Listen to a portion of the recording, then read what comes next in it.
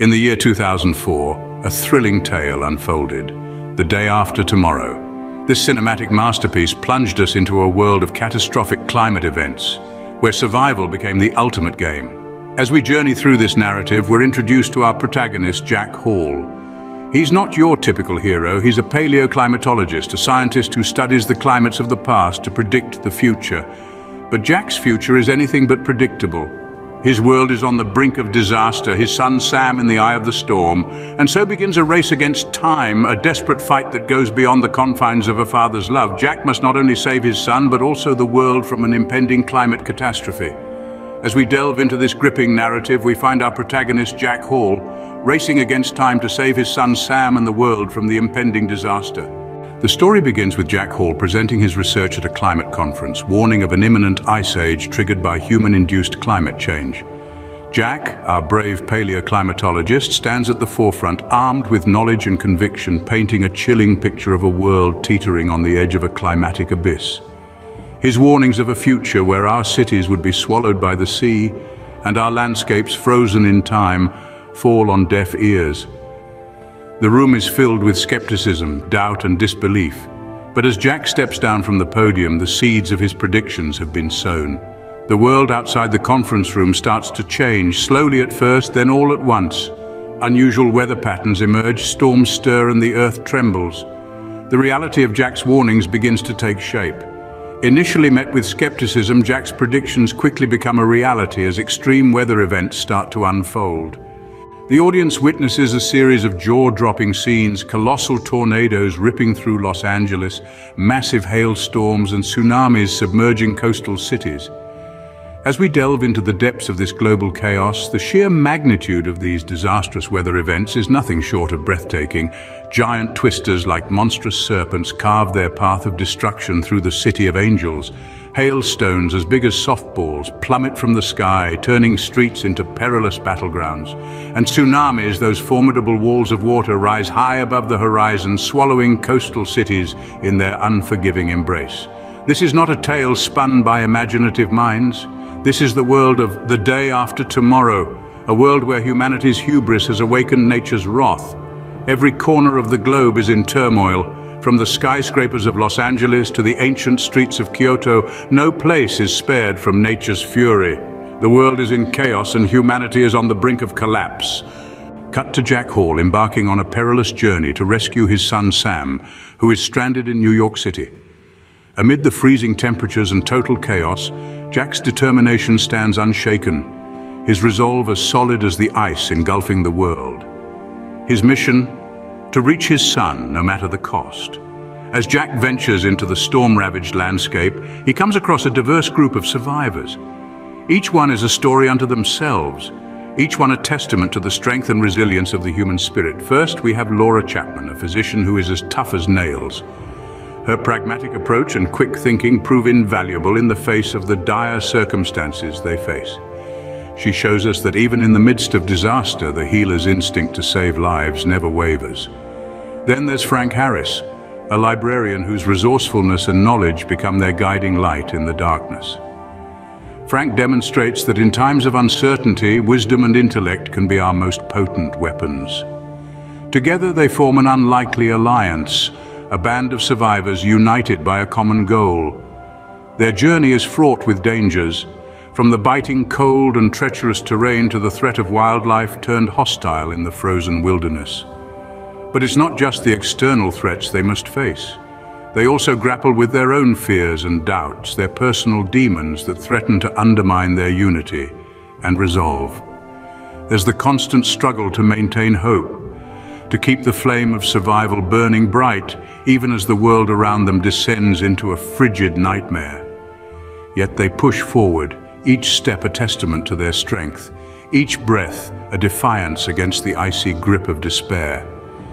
Their journey is a mirror to our own struggles, a reminder that even in the face of overwhelming odds, we have the power to persevere, to survive, and to triumph. Along the way, Jack encounters a diverse group of survivors, each with their own struggles and stories. Their journey becomes a testament to the indomitable spirit of humanity, a beacon of hope in a world on the brink of a new ice age.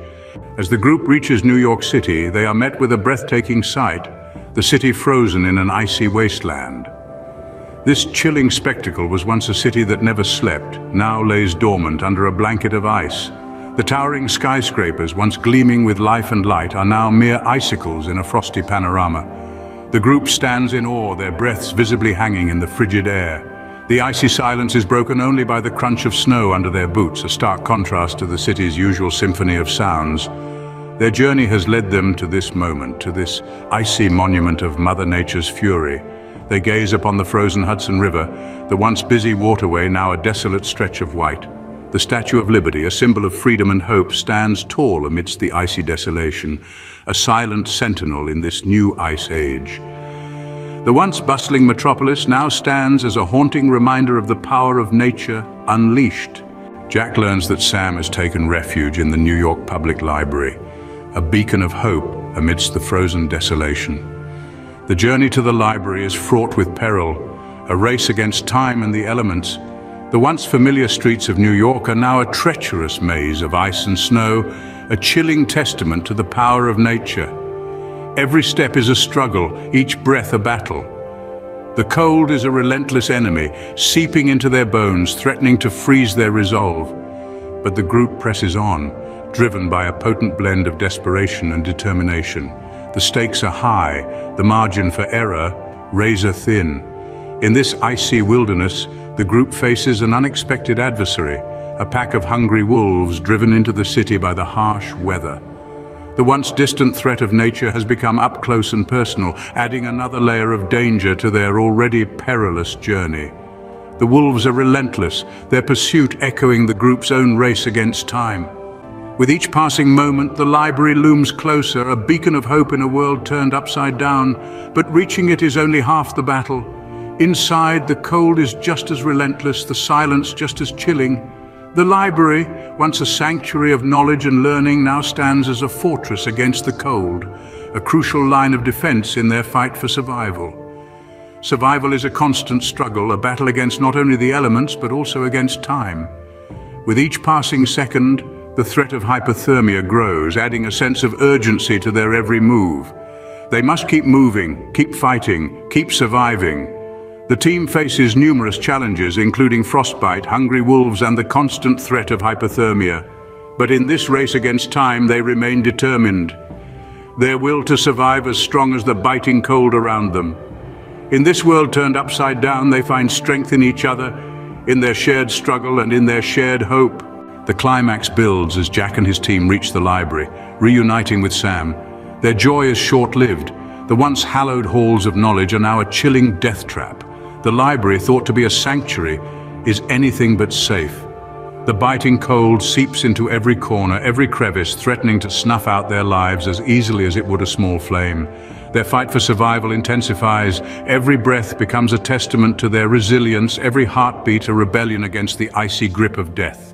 They huddle together, their bodies a fortress against the cold, their spirits unyielding. But the survivors have weathered the storm, both literal and figurative.